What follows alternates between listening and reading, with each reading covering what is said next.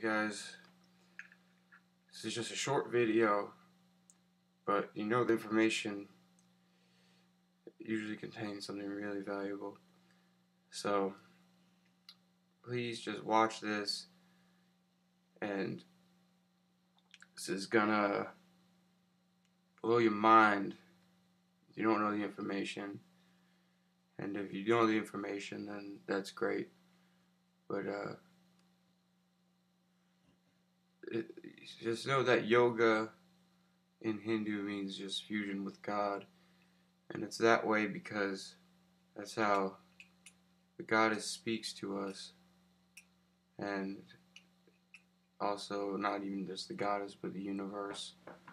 And uh, the sun is also called the Heavenly Father. Um, you know, by some, because obviously Mother Earth is, uh, everyone says Mother Earth, but uh, Father Sky is the sun and the whole universe. And then uh, even above the Earth Goddess, which is Gaia and stuff, there's a whole nother level, but we're feeling from our bodies, and the feeling you get from your bodies is always a cue from God because we can always be stronger. So those are just words of labeling certain aspects that are in control of us, and our higher self is uh, called the Alpha Soul, and the soul that came in to incarnate here is called the Beta Soul, and the Alpha Soul connects to the Omega, which is the universe. So our higher self connects to the universe for us, but um, obviously there's different levels, and we have. Uh, an accommodation that is almost beyond the alpha sometimes when they don't want to take on exactly what we're doing on earth so we get connection to uh, source or the everlasting eternal freshness called the ultimate goddess by me or just god. And then there's the earth goddess which uh, skips the step of the, the universe or father sky. And then um, we feel vibrations of the universe. Anyway, just to explain words for words, yoga means connecting to God for Hindus, and that that's that's kind of the thing is we're getting cues from our body up. But what I wanted to say is um, it's called reciprocal stretch. Is gonna change your life. Like if if you're if you're stretching one part of your body, like just say I'm just putting a little bit, little bit of weight here on my foot. You know, it's not, it's not me putting all the weight on on this foot. There's only 20% of weight on that foot. But when we're stretching, I'm actually flexing the top half of my leg. So it doesn't work when it's turned like this. But see, now I'm just, I'm flexing the top half of my leg and I'm stretching the lower half. See how easy that stretches, fully, fully straight leg, flexing the top half, and stuff like that. So, even when you're doing regular stretches, like you're going down, then I'm flexing even the top half of my foot and the top half of my legs, but I'm getting a stretch on the back half. And I'll show you after. But see, we'll always just as a side note, just bow down like this, back arched. See, you gotta arch, arch your back. This is a secret technique of stretching.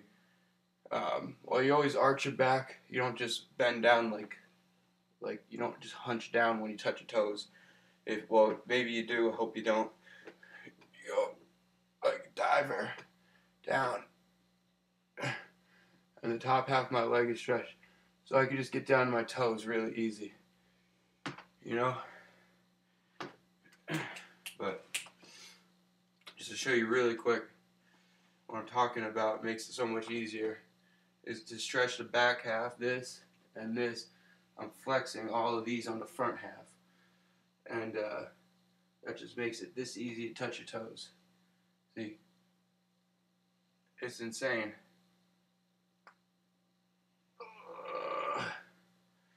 So that's one part of it. And that works with any muscles. Always a reciprocal. You're stretching this and you're flexing that. and there's always a reciprocal. Each one is flexed, and the other one's um, you could say relaxed, or you're stretching the other one. So just try to work on this with your legs, and this is gonna change your life when understood. I guarantee it, because I never even used to touch my toes honestly comfortably, but now it's once my my um, my knowledge grew. Um, a person who taught me was, was three black belts, and he told me that now I can just do it really easy. The other secret is you always have to let your body just talk. Um, might sound weird at first, let your body talk, but it's the key. I like you feel an uncomfortability, and you go, "Hiya!" and you got to make these noises and it's like kind of a breath thing too. Exhale. Inhale, inhale. Huh, huh, huh, huh. Hiya. Kiyai. Ice. Yai. Aja. Hiya. Okay? So that's number two. And number two has a side note that when your body breathes naturally, then you make that thing. So I breathe in slow, like my body just breathes naturally slow. I don't know why. In any random moment, in any particular specific circumstance, within the variety of everything, my body breathes slow. So that means giant step. Ooh. Same exact length of time for what the breath of the body commanded without your involvement because your body is God. Your body knows how long to take the breath. It relates the most. So, so your, your body pauses. You take three breaths. then three quick punches. Okay? And we're learning this to just help protect the women and children on earth and to be a good fighter for the divine masculine, which is the universe. And above that, we're protecting all of life, which is the eternal goddess. Alright? So if I breathe like this, it's the same amount of time. I move like this. I was supposed to grab that chair. Okay? And that was the fate. So I explained the first two. And the third point of all of this, which is another important thing, is uh, the chipmunk tribe.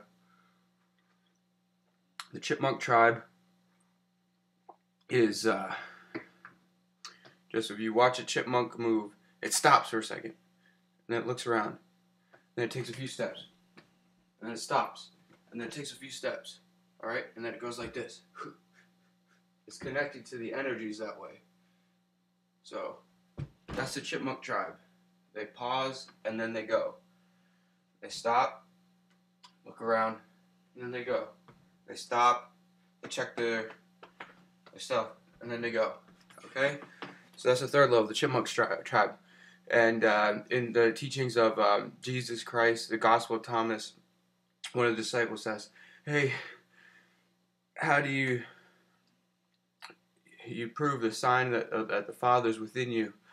And Jesus said, "It is motionless, and then it is motion, and then it is motionless, and then it's motion." That's the chipmunk tribe because chipmunks stop, and then they look around, and then they go. So if you practice this, you're connecting to the kundalini of the earth the power energy of this planetary sphere that you're on. This is important information because this is the most raw, primal stuff. It's not even like finding fire or building water or any of those type of things, building shelter. This is just your operating system. This is the most raw thing. So it's even transcendent to that because it's going to lead you to combine certain elements within the atmosphere world that you're in to do certain things that were called for, you know? So anything that's an operating system is like more important because when you operate with your hand that you can do anything that you didn't know you could do before. So we're inside of a big world and there's a lot of different possibilities to do in life. So this operating system is also actually just the most primal. So that's going to lead to action that hopefully will find a moment's destiny And then if you actually care enough to understand the other things about yourself, which uh, is a little bit more sophisticated, it's called the unique legend of yourself, then you find your own destiny. And that connects to the alpha soul, which before you jumped in and dove into this incarnation, it had a destiny of what you're supposed to do here. So that's covered by the alpha soul, so that's above the earth um, connection. But when you're doing it, the smart ones who know their destiny are doing it with this operating system of, you know, the reciprocal stretches. I'm stretching the lower half of my leg right now. And then they do the kiais, which is Haja! Jihai! And they hear breath, and then they do the motion. See? And that's how we do it. And then the third level is a chipmunk tribe, which is pause to the magnetic of consciousness and then strike. It's not always just having to pause. If you connect to it and if you watch anything in nature but chipmunks, the little white stripes with golden bodies, some black, they're so cute. They could do this. Alright? So I honestly have a million of them running around, so I'm gonna be watching them more. But chipmunks do it, and uh, all nature is the wild animals, and they're wild because they know how to connect to that energy of survival. That's even more just finding food or whatever. They they're connected to that survival energy, and if you notice, they pause and then they do a little. I don't see any enemies, and then they do the little steps. You know, it's a different thing, and they're they're strong to jump. You can see that uh, that's a prime example, and they got good energy, and uh, they connect to the Mother Earth. You know,